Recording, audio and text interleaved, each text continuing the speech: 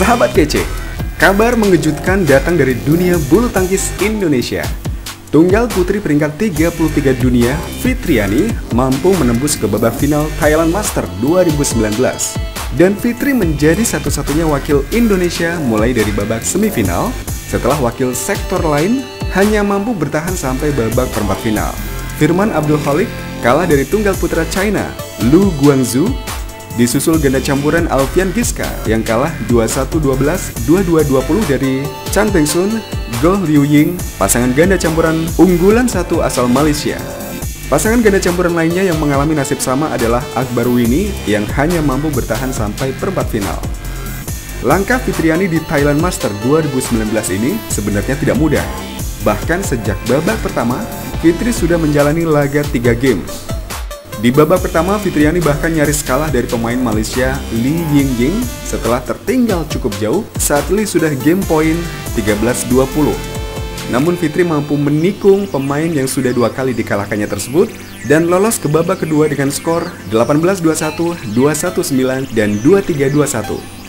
Kejutan luar biasa juga mampu diberikan Fitriani dengan menundukkan unggulan pertama asal Thailand, Nechaun Jindapol setelah unggul meyakinkan di game pertama 21-10, Jindapol mampu mengungguli Fitriani di game kedua dengan 17-21.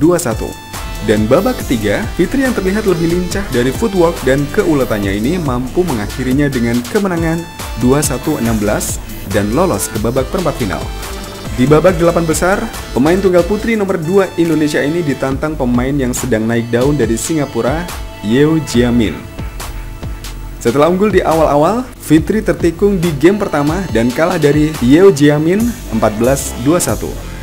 Di game kedua, serangan-serangan Fitri mulai mengumpulkan poin dan unggul 21-15. Fitri memastikan lolos ke babak semifinal setelah unggul di game penentuan, yaitu 21-18. Laga semifinal kembali tidak mudah dijalani Fitriani. Melawan pemain asal Hong Kong yang sudah berpengalaman, Deng Joy Kwan Fitri harus kalah duluan di babak pertama dengan skor 12-21. Dan Fitri sukses mengulang babak-babak sebelumnya dengan bangkit dan terus menyerang tanpa menurunkan tempo. Dengan keuletan Fitri, mengantarkannya lolos ke babak final setelah mengakhiri game kedua dan ketiga dengan kemenangan 21-19, 21-16. Iya, dengan kemenangan ini Fitri menjadi satu-satunya wakil di final yang akan menghadapi tuan rumah lainnya, Busanan Ong Bang Rungpan pemain peringkat 29 dunia. Harapan Fitriani untuk memenangkan laga final pun cukup terbuka, mengingat Fitri berhasil mengalahkan Busanan pada laga terakhir di Korea Master Super 300 pada akhir tahun lalu. Fitriani menang 21-18, 12-21, dan 21-11. Dan secara head-to-head, Fitri unggul 2-1. Namun, dengan Busanan tampil di hadapan publik sendiri, tentu ini akan menjadi pertandingan yang sangat seru. Ya, kita lihat pertarungan mereka. Apakah ini akan menjadi pembuktian seorang Fitriani yang belakangan terus mengalami penurunan prestasi dan kembali menemukan pola permainan, ritme, dan kepercayaan diri yang tinggi di awal 2019.